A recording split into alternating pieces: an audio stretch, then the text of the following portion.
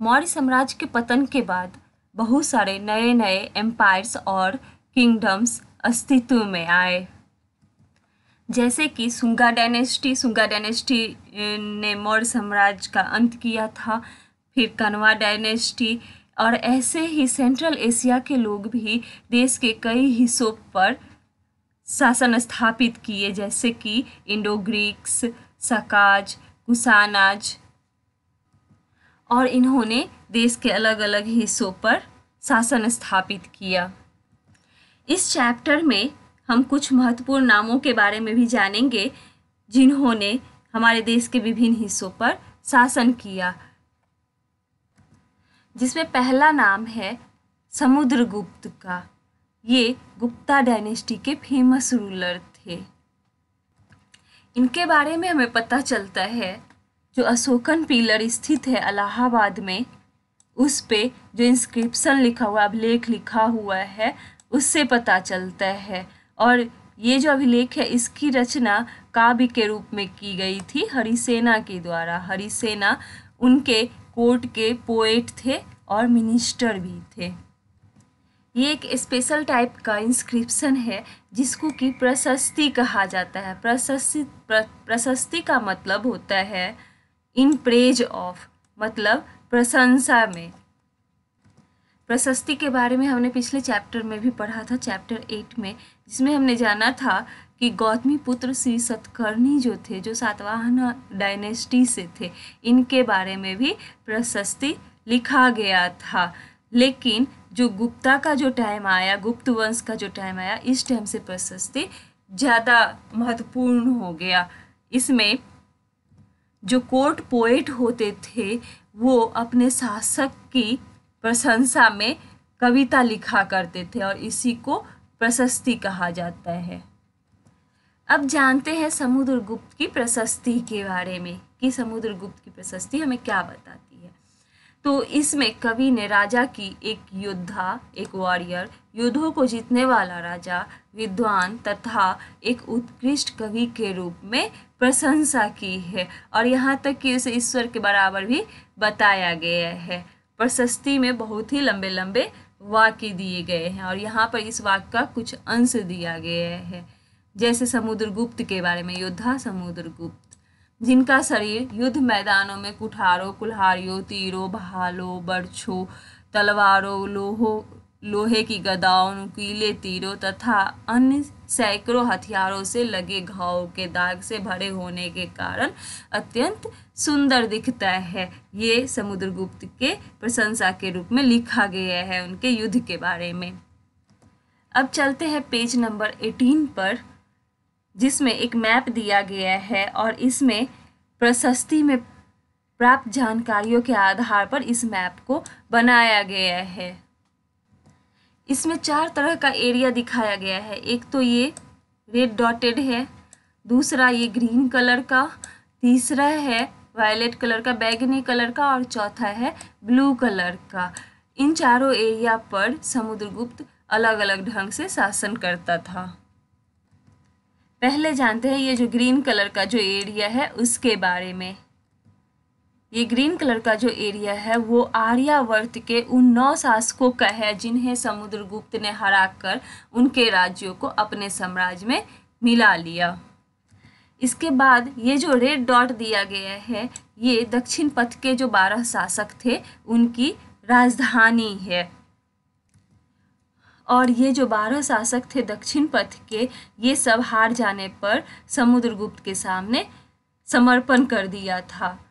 और समुद्रगुप्त ने उन्हें फिर से शासन करने की अनुमति दे दी। और ये जो है बैगनी कलर का एरिया काफ़ी विस्तार है। इसमें असम, तटीय बंगाल, नेपाल और उत्तर पश्चिम के कई गण या संघ आते थे और यहाँ के जो शासक होते थे, वो समुद्रगुप्त के लिए उपहार लाते थे। उनकी आज्ञाओं का पालन करते थे तथा उनके दरबार में उपस्थित हुआ करते थे। अब है ये ब्लू कलर का जो एरिया है, ये बाहरी से शासक का एरिया था। और शायद कुसान और सकवंश का एरिया था। और इसमें श्रीलंका के शासक भी थे। इन्होंने समुद्रगुप्त की अधीनता स्वीकार की और अपनी पुत्रियों का विवाह उससे किया। तो ये था चार तरह का एरिया जिस पर डायरेक्ट या इनडायरेक्ट रूप से समुद्रगुप्त का कंट्रोल था। यहाँ पर दो सिक्का दिया हुआ है, जो कि समुद्रगुप्त का है।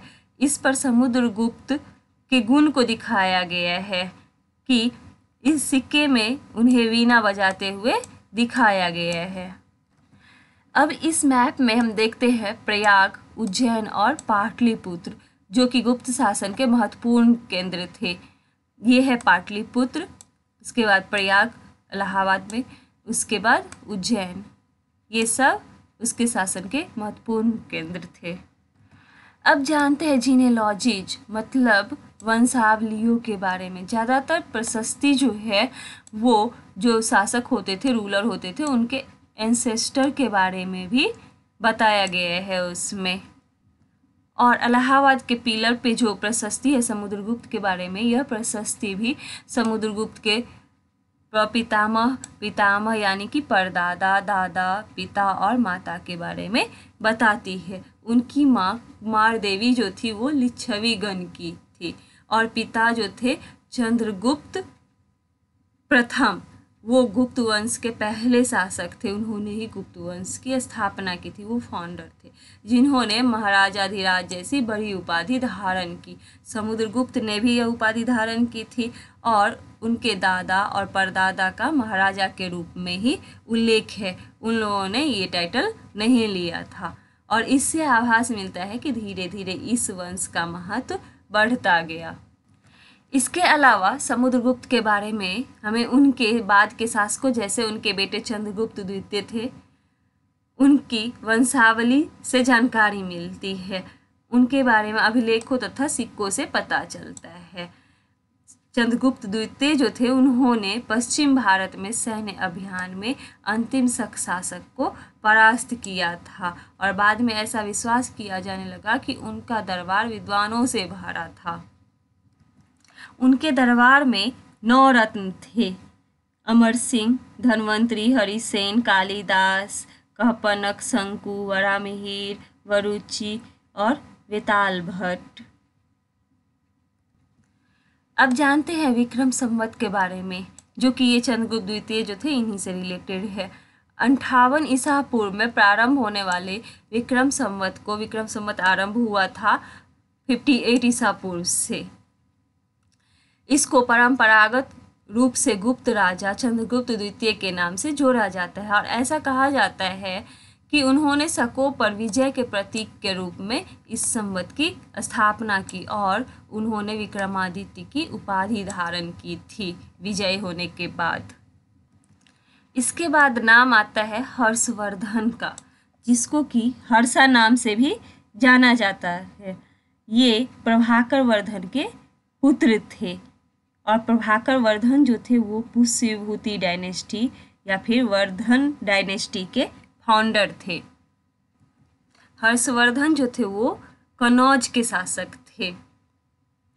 और जैसे गुप्त वंश के शासकों के बारे में अभिलेख और सिक्कों से पता चलता है इंस्क्रिप्शन से, वैसे ही इनके बारे में भी उनके कोट पोइट दरबारी कविवान भट्ट के द्वारा लिखा गया, उनकी जीवनी हर्षचरित जो कि संस्कृत में लिखा गया था, उससे हर्षवर्धन के बारे में पता चलता है।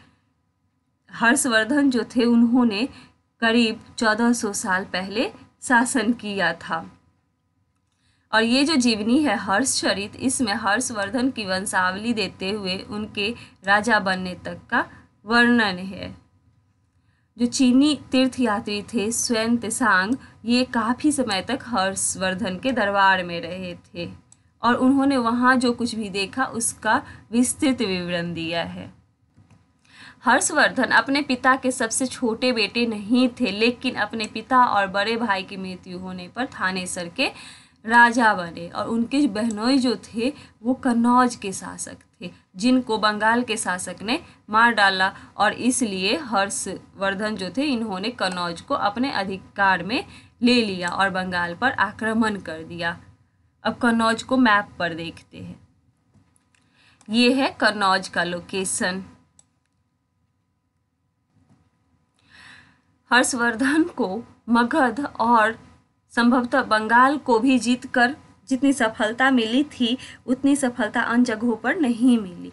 और जब उन्होंने नर्मदा नदी को पार कर दक्कन की ओर आगे बढ़ने की कोशिश की, तब चालुक्य नरेश पुलकेशिन द्वितीय ने उन्हें वहाँ रोक दिया। पल्लव, चालुक्य और पुलकेशिन द्वितीय के प्रशस्तियों के बारे में हम अगले वीडियो में जानेंगे। Thank you.